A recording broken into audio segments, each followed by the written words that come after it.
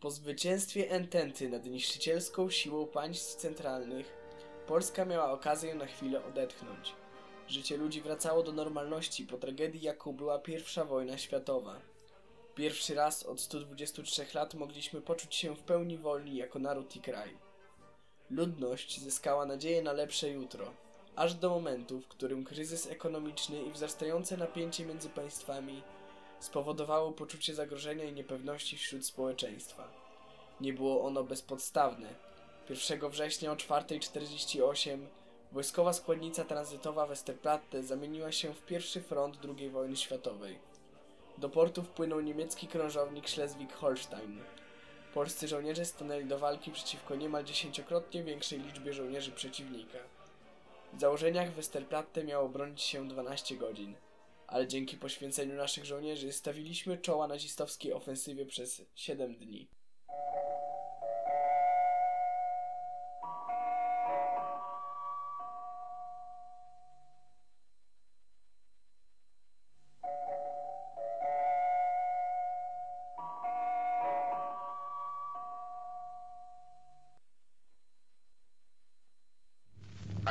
Tu Warszawa i wszystkie rozgłośnie Polskiego Radia. Dziś rano o godzinie 5 minut 40 oddziały niemieckie przekroczyły granicę polską, łamiąc pakt o nieagresji. Bombardowano szereg miast. Za chwilę usłyszą Państwo komunikat specjalny. A więc wojna. Z dniem dzisiejszym wszelkie sprawy i zagadnienia schodzą na plan dalszy. Całe nasze życie publiczne i prywatne przestawiamy na specjalne tory. Weszliśmy w okres wojny. Cały wysiłek narodu musi iść w jednym kierunku. Wszyscy jesteśmy żołnierzami. Musimy myśleć tylko o jednym.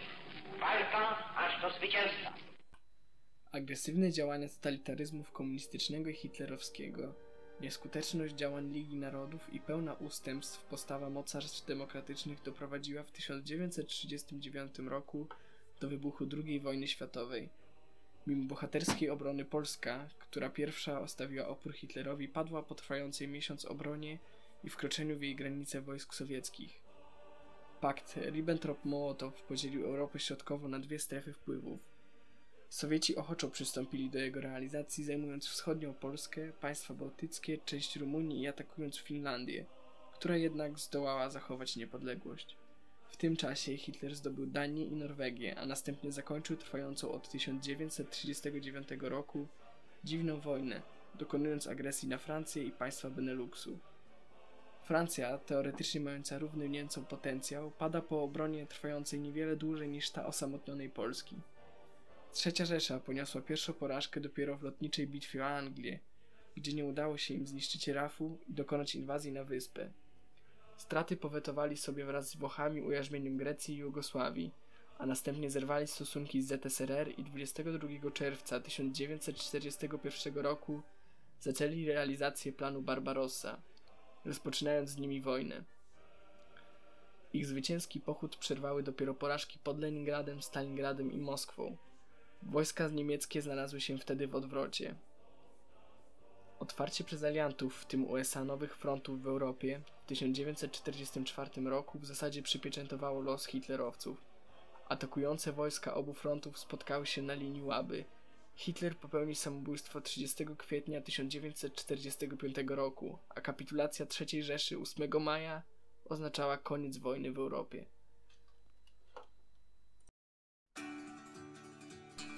W dniach od 4 do 11 lutego 1945 roku los Polski został ustalony przez trzech zwierzchników państw alianckich. Mowa o konferencji jałtańskiej, w której uczestniczyli Franklin Delano Roosevelt, Winston Churchill oraz Józef Stalin. Witajcie panowie! Na rozluźnienie atmosfery i uczczenie naszego rychłego zwycięstwa proponuję wam toast z tego co mam najlepsze, z naszej ojczystej wódki. Oj, towarzyszu Stalin, wy to macie pomysły. Do pełni szczęścia brakuje mi tylko naszego luksusowego cygara. A tam panowie, wódka wódką, cygara cygarami. Na naszych oczach kończy się wojna. Kto wie ile jeszcze to potrwa? Dzień? Dwa? Kto nam wypłaci pieniądze za szkody, które poczynili Niemcy? Za tą wojnę, za tą wojnę, którą zgotowali nam Niemcy, tylko oni mogą płacić za szkody wyrządzone podczas tej wojny. A więc postanowione. Niemcy wypłacą nam reparacje. Zapłacą za to, co zrobili. Co pan na to, panie Stalin? Towarzysze, mi to na rękę, ale powiedzcie wy mi, co zrobimy z terenami odbitymi Niemcom. A co proponujesz? Ja to bym wziął teren Polski i część Niemiec. A wy bierzcie resztę, odpowiada to wam. Jestem za. Nie mam nic przeciwko. A więc postanowione. Nie on wszak za tym wszystkim stał, wszak po to tylko był triumvirat, by Stalin dostał to, co chciał. Zaufanie rządu wobec ludności cywilnej było mocno ograniczone ze względu na to, że nie każdy zgadzał się z aktualną władzą. Dlatego też na porządku dziennym była kontrola dokumentów przechodniów.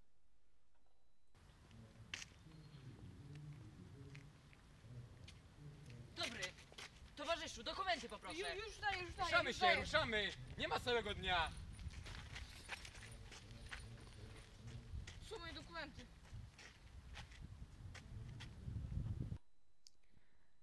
Oprócz ciągłego nękania ludności przez MO, Polakom doskwierał głód.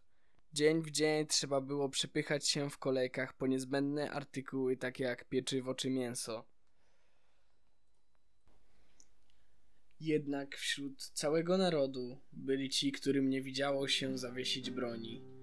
Ci, którzy traktowali Rosjan jako kolejną przeszkodę ku wolności. Ci, którzy nie stracili nadziei, a także ci, dla których Bóg, honor i ojczyzna były wartościami nadrzędnymi. Dla nich nie liczyło się to, kiedy wrócą do domu. Ich dom był w wolnej Polsce, której dla nich nadal nie było, a nazywano ich żołnierzami wyklętymi. Wśród tej elitarnej grupy niezłomnych był jeden szczególnie ważny dla ziemi ostrołęckiej, a mowa o Aleksandrze Bednarczyku działający pod pseudonimem Adam, walczącym również podczas kampanii wrześniowej.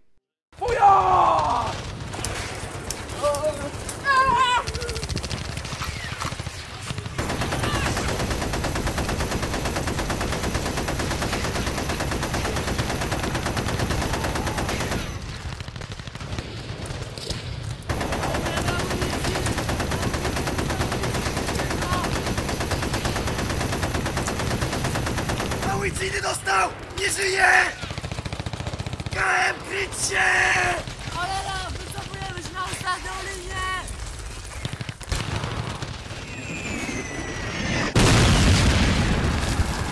Naszych dostał! Idę po niego! Stój, na pewno nie żyje! Nie dowie się, dopóki nie sprawdzę!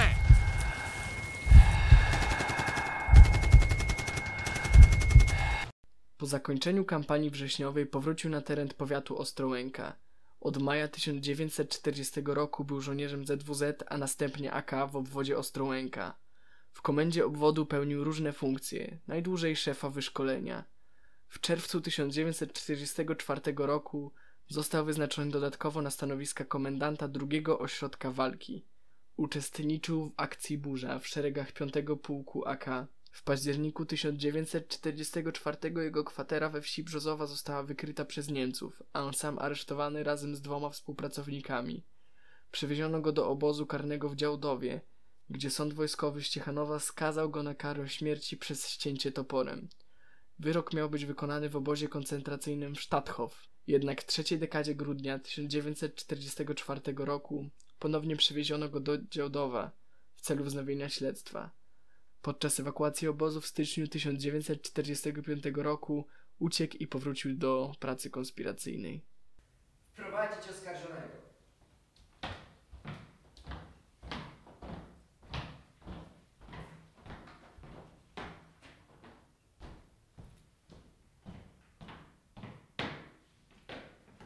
Jak nie mam pan Adam.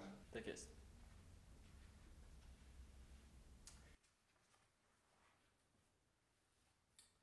Oskarżam pana o działalność niepodległościową przeciwko III Rzeszy Niemieckiej. Co ma pan na swojej obronie, panie Bednarczyk? Jeszcze Polska nie zginęła. Co pan powiedział? Jeszcze Polska nie zginęła! Koniec! Skazuję pana na karę śmierci przez ścięcie toporem. W listopadzie został awansowany do stopnia porucznika. W lutym 1945 roku mianowano go na stanowisko komendanta poakowskiej organizacji AKO w obwodzie Ostrołęka. Od września 1945 roku kierował obwodem zrzeszenia win Ostrołęka kryptonim Dorota. Od sierpnia 1946 pełnił również obowiązki prezesa Inspektoratu Mazowieckiego WIN, obejmującego powiaty Ostrołęka, Zambrów i Ostrów Mazowiecka oraz częściowo Radzymin i Węgrów. Jesienią 1946 roku za pośrednictwem Komendy Obwodu Ostrów Mazowiecka podporządkował sobie pozostałości organizacji połakowskiej ROAK w powiecie Półtusk, tworząc na ich bazie nową strukturę obwód Półtusk-Win kryptonim Paulina. 1 czerwca 1946 roku awansowany do stopnia kapitana w okresie służby w szeregach ZWZ, AK, AKO, WIN odznaczony krzyżem Virtuti Militari piątej klasy, srebrnym krzyżem zasług z mieczami i krzyżem walecznych. Był jednym z najwybitniejszych, a dziś zupełnie zapomnianych organizatorów ruchu niepodległościowego na ziemi ostrołęckiej. W nocy z 19 na 20 listopada 1946 roku został otoczony przez grupę operacyjną UB z Ostrołęki na kwaterze znajdującej się w gospodarstwie Czesława Kruczyka we wsi Gnaty. Poległ śmiercią żołnierską od kul funkcjonariuszy UB, próbując wyrwać się z kotła. Kelner, budki. Szefie, bo jest taki mały problem, Jaki znowu problem? bo chodzi o Adama. Nie wspominaj mi o tym polskim ścierbie. Szefie, Zamknij się! Nie chcę tego słuchać. Jeśli do końca tygodnia nie rozwiążesz sprawy Bednarczyka, skończysz jak oni. szefie, ale co, co ja m- mogę zrobić? Znajdź go! Masz mi go przyprowadzić, nieważne czy żywego, czy martwego, jasne? Oh!